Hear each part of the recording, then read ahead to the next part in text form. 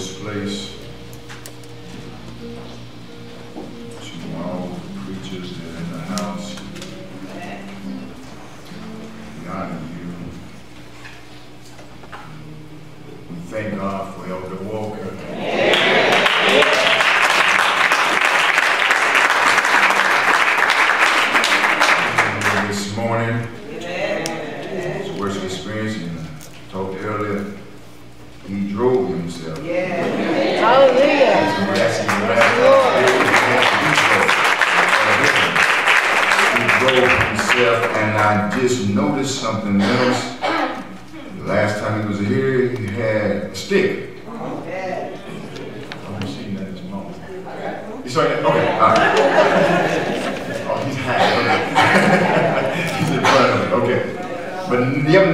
He drove himself. This morning, that's a blessing.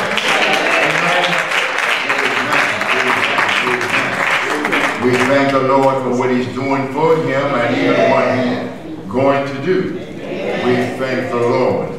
Thank the Lord for Deacon Sparks as well, being here as well.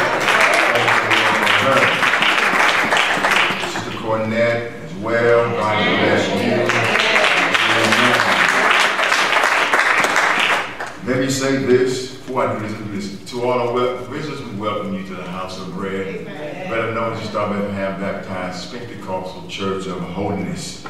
We welcome you to this house and this worship experience to you. The membership, we honor you as well. Uh, what I was going to say was, no matter what goes on, God is still moving. God is still blessing. Therefore, we'll try to say and do various things, but God is in control. Yes, yes. God has everything under his hand. And God is God and God all by himself. And besides him, there is no other. As I told you last Sunday, when he's on the left, you don't see him, he's working. He's working. He's working. He is working. We thank God for what he's doing for our sick and even what he's about to do. We thank God in advance. Amen. Amen. We praise God on behalf of those that are going through. Because God will, God shall bring them through. And I want to use another word, in flying colors. Amen. Amen. Amen. Amen. Amen. Somebody said, said or sound, I can't remember which one it is. Devil thought he had it, but I got away. Yeah, yeah, yeah, yeah. I got away through the Lord Jesus Christ. I got away. Amen. Amen. Amen. And let me share this with you. I was in a meeting yesterday, invited to, uh, to be uh, in a meeting, and as I was leaving, I couldn't stay. On my way out, listen to this. God is still blessing the house. Didn't know who this person was, and I was leaving, and, and uh, on my way out, I shook her cousin's hand and asked how she was doing. And, and talking to her, this woman some summoned me, said, come here. So I came and the woman said, the Lord laid on my heart to give your church $100.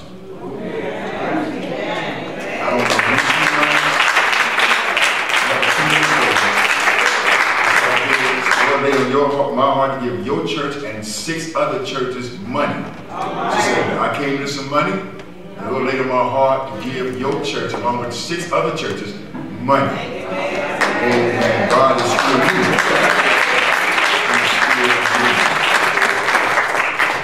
Uh, Later on, I'll, I'll share with y'all about something the devil thought he had us.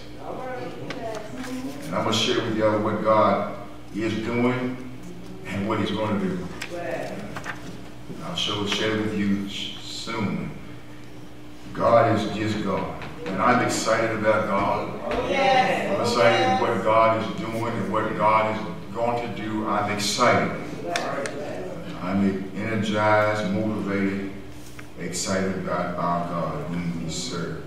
I want to invite your attention to a very familiar passage of scripture. You, you heard me say before, but I, the Lord led me to this scripture back to revisit it And I saw something in this scripture that I didn't see previous times until he brought it back to my attention. Uh, the scripture is Psalms 27 and 8. 27 and 8. I want to thank my son, Raymond III. He's trying to help me out. He's got a thing now that uh, will help me out tremendously on Sunday mornings and thank God for his talent that he has that will help us. He's got even a reference scripture from another translation that will make this verse 28, verse 8 of 27 Psalms clearer. 20 Psalms 27 and 8. If you don't have it, say, wait a minute. Good. Going to you stand and rest of God's word. To ask you to say this nice little word. Word. Word. Amen. I'm reading from the King James Version, which is what's on the, on the wall. When you said, seek my face, my heart said to you, your face, Lord, will I seek. Most gracious and all-wise Father, hear him again, and I need you to help me with this verse of Scripture. Bring out clarity, bring out freshness of word, speak, for your servant do it here. Send fresh manna from on high. Speak, God. God, I pray, God, open the ears of the hearers, the hearts of the receivers, and that your word will fall on good and fertile ground and produce fruit in days to come. God, I pray, God, you keep me humble, obedient, submissive, and sensitive to your spirit. Keep me ever at the foot of the cross where you can get the glory and the honor and the life of me, your servant. God, let the words of my mouth, the meditation of my heart, my words, my thoughts, be your words and your thoughts. O Lord, my strength and my redeemer. These blessings I ask in Jesus' mighty and awesome name I pray. And I do thank you. Amen. You may be seated in the presence of the Lord. Now, read that scripture again. When you said, seek my face, my heart said to you, your face, Lord, will I see. My brothers and sisters, for the time that we do share together, I want to talk from the subject of come talk to me. Come talk to me. We talk to everybody else on a regular basis. Regularity. Don't miss a day. We talk to others every day. We feel a need to talk one another every day. We feel it important, needful, and helpful if we talk to someone every day. It makes our day if we just hear somebody calling us every day. Well, I want to tell you something. God wants us to talk to him too. Every day. It is a great delight to God whom we serve when he hears us talk to him every day. And if I look biblically, Daniel was a person who talked to God three times a day, regularly, continually. He did not stop talking to God. Even in adversity, knowing that if anyone sent a petition to God or man would be thrown into the lion's den, Daniel did not deviate from what he always done. And what he always done, what he'd always done. You and I have got to talk to God on a regular basis. Not only when things are going well, but when things are not going well as well. We, we, we, we have a tendency as believers that when things are going well, I'll talk to God later. And then we get too busy, we forget to talk to Him. And then when things come up in our lives, then we want to talk to God like never before. But God wants us to talk to Him every day. Amen. Verse number seven says this. You clarify that too? All right, well, you got some statements. Verse 7 says, Hear, O Lord, when I cry with my voice.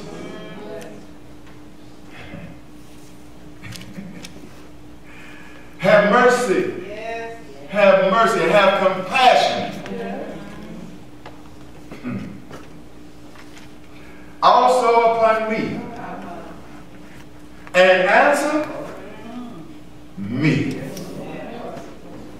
When I look at verse number 7, I see David seemingly, I want to suggest to us that David seems like he's going through. He says here, when I cry my voice, have mercy also on me and answer me. He's right here, this is he's prayer, he's in prayer. He's talking to God. He's pointing his heart to God. He's letting God know, God, I need you to hear me. Can I just say, ask y'all something? Don't answer, don't answer, don't answer, but I know y'all done it periodically. Uh, there are times in our lives we feel that God does not hear us. So we ask, we really honest, God hear me. When I pray, when I cry with my voice, hear me, Lord. He says, have compassion on me and answer me. The reason why I say that, he said, but I haven't heard from you in a while. Even though I'm with you, watch this, watch this, watch this. Even though I'm here every day, I'm talking to you every day, but I haven't, I haven't heard from you. Yeah. Answer me. You know how you, when your parents, you talk to your child, you, your child like they hear you, they, they look nonchalant, and, and you say, do you hear me? Are you listening to what I'm saying? You know, when we as parents.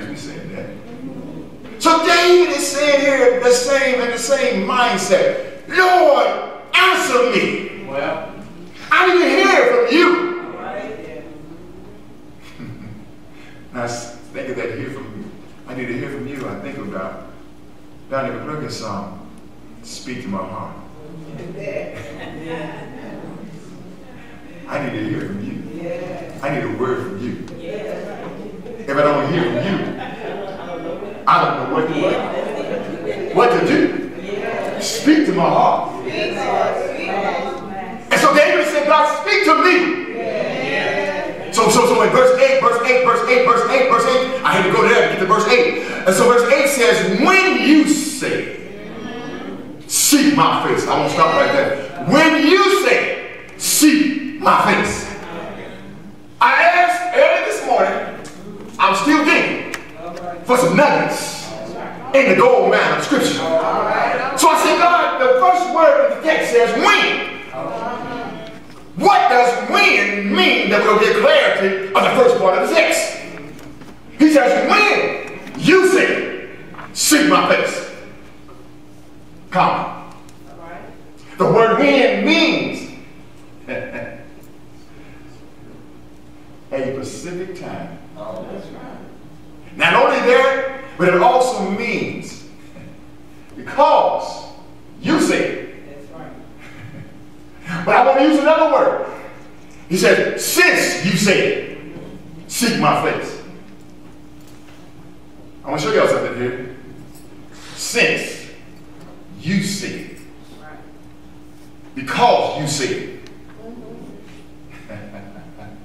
a specific time, you said seek my face. He, this in prayer, y'all.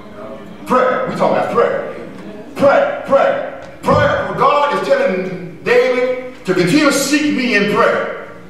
Even when you don't see me like last week. When you don't find me the right or the left, seek my face. Go after me in prayer. Because let me tell y'all something. Prayer is a weapon for the saints. Saints so he will stop the saints from having a continuous relationship and prayer with God. So God tells David, when you, David, David, when I said, basically what he really saying, seek my face, seek my face, go after me in prayer. But watch this. He says, watch, watch, watch, watch what the next part is. He says, I'm almost done, y'all. He's gonna be the long day. But I want to show you something. He says, my heart said to you. Yeah. I see something happening here. I hear what you're saying. I told you to answer me in verse number seven. So now he's answering David in verse number eight. Because David replies, when you say. That's right. So in other words, God has always, God must have said something to David. David I insisted on an answer from God. So God said, well, since you want an answer, I need you to seek my face. And David said, my heart said you, Lord, your face will I see. That's obedience. Yeah. To God. That is obedience to God. Well, I want to tell y'all something The devil does not want, and I said it before, want us to pray, doesn't want us to seek God's face. Then, uh, let, me, let me go further. He says, seek my face. I asked the text question about the face. He says, go after my presence. I'm just going to talk, y'all. I want to talk. For now, unless God say something later. But look at that. He says, seek my face, seek my presence. Get in his presence. Get in the presence of God in prayer. And my heart, my, the heart, the heart means uh, my inner man. Uh, my inner man, my inner man has got to get in your presence. Not only the inner man, but he talks about my soul, my spirit man. He's got to connect with you. Have you ever been in prayer? I mean sincere prayer? You tune everybody out, tune everything else out, and you in sincere prayer unto God, in the presence of God, and God starts to move while you talking to Him, and, and you have, oh my God, it's an experience like no other. And so God said, I need to get in my presence because I'm going to take you in another, oh man, I'm going to take you another place in me. when you get in my presence, Your presence. Your presence will I seek. When you get in God's presence, I, I, I heard I heard years ago, uh, Elder Walker was was teaching. He just came back to me about the presence. He said he was so, that's when he used to live on Oak Hill Drive. He said he was up in this little prayer room and he said that there was just nothing but smoke.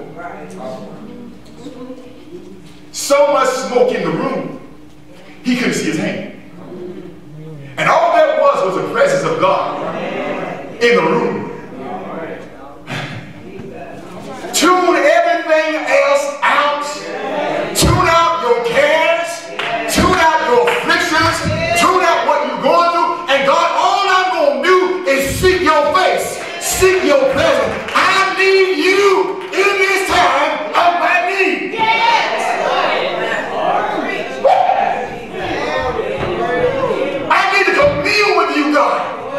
And the word commune means I need to pray unto you. I don't know if you've ever been there before, but oh good God who's out here. When you get in the presence of God, you don't want to come out. And then when you do come out, you better sit down for a while. Don't drive. Don't attempt to drive. Just wait till you come out. Wait till you come down.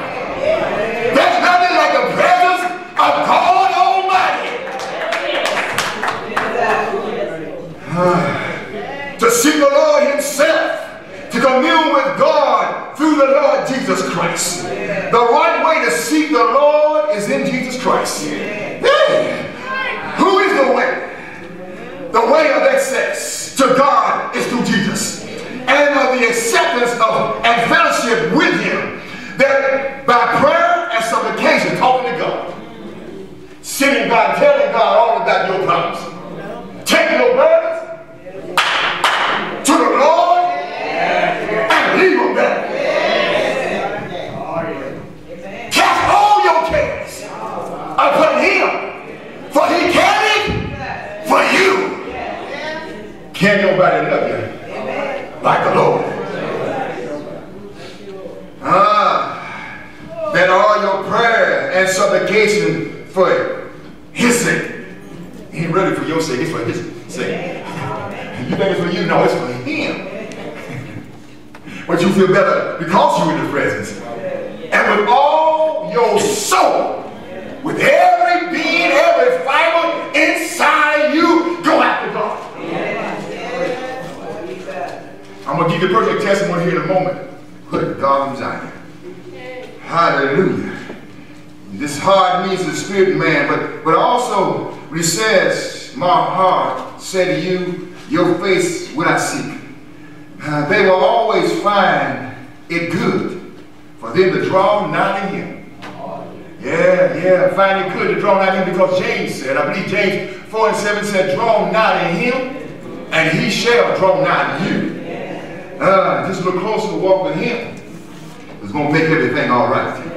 And is the best way of seeking God is when the heart, watch this, when the heart, when the soul and the inner man is engaged with God. All right. Engaged with God. I want you to know the word engagement. Uh-huh. Engagement. Because he had bidden him to seek his face, he found his heart, watch it, he found his heart ready to seek God. You can't get in the presence of God until you seek God's face. And you cannot get in His presence until your heart oh, oh, oh, oh, is in it. Now, I'm not going to get further. Please don't get mad at me. But when you go and seek His face, your heart has also got to be right. You can't get in His presence until your heart is right. Until your heart is engaged and ready to go after God. Mm. Ooh, Jesus. Your face, Lord, will I seek in obedience to your command. The New Living Translation makes it real clear. You got it? Watch this. The New Living Translation. And I'm coming home.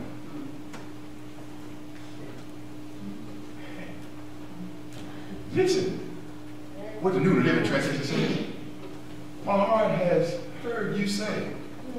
My inner man has heard you say. My soul has heard you say, come and talk to me. you should be shouting that. my heart said, my heart has heard you say, come and talk to me. And my heart, oh, that is right there. My heart responds. Not only does my heart hear you, but my heart is receptive and it re responds to, to the Lord. And watch this, I'm coming. Here I go, God. Hello, God. I'm responding to what you said. Because when I go in response to what you said, you won't move on my behalf. You won't do something for me. Here I come, God. I hear you, God. My heart is receptive, God. My heart is in response to you, God. And what you said, I'm walking in obedience to you. Uh, woo, Jesus. Do the next one. Watch this. This is just a comparison for the New King James to the New Living Translation. Comparison. Which the New Living Translation makes it real clear of what the New King James is really saying. Woo! Personal testimony of coming home. Someone called me Friday, and I knew their situation. I'm not going to go into detail what their situation was. I knew the situation. I went into prayer. They were in dire straits. So I went into prayer with them, and I didn't tell them I was going to pray for them. They called me. Mom, I'm in Stein Mart.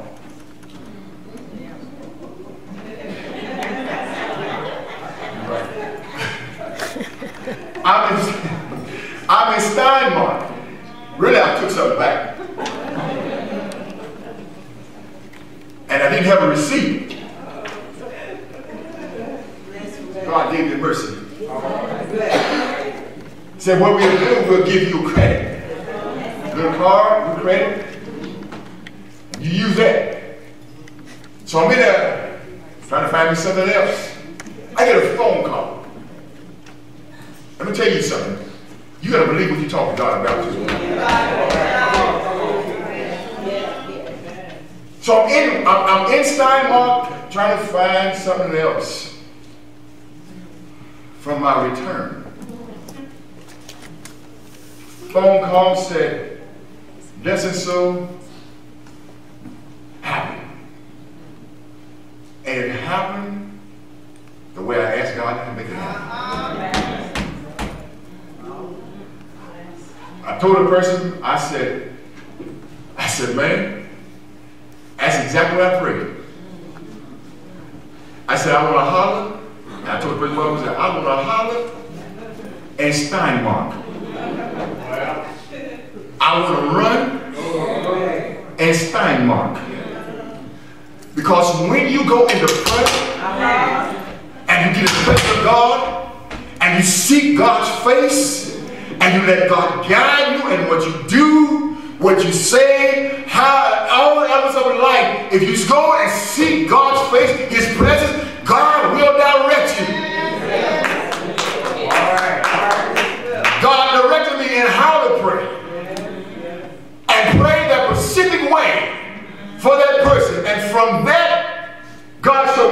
start praying for other people, you tell me how, you ask me how, don't hear me what I'm going to tell you.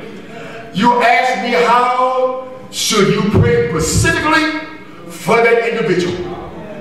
Right. That was a teaching moment for me. Because we pray, we pray, we pray, we pray. But, but God knows everything, y'all. God knows how to do and when to do and what to do. So what we got to do is, as I said earlier, you have to pray for sister so-and-so and brother so-and-so that they come out of a situation